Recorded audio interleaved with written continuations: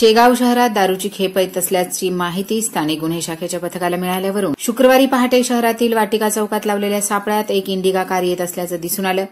त्याला थांबवून झडती घेतली असता त्यामध्ये सत्तेचाळीस हजार रुपये किमतीची विदेशी आणि देशी दारूच्या बाटल्या मिळून आल्या. आरोपींकडून एकूण दोन लाख ऐंशी हजार रुपयांचा मुद्देमाल यावेळी जप्त करण्यात आला.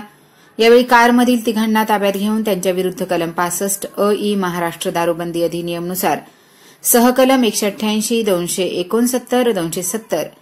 भारतीय दंडविधान सहकलम तीन साथीचे रोग प्रतिबंध अधिनियम सहकलम. एक्कावन्न ब राष्ट्रीय आपत्ती व्यवस्थापन अधिनियमनुसार गुन्हा दाखल करण्यात आलाय. अमोल वसंत भोई वय सव्वीस वर्ष लेश महादेव तायडे वय तीस वर्ष आणि हरीश दलपत इंगळे वय तीस वर्ष असं अटक करण्यात आलेल्या आरोपीचं नाव असून तिन्ही जळगाव जिल्ह्यातील मुक्ताईनगर येथील आहेत.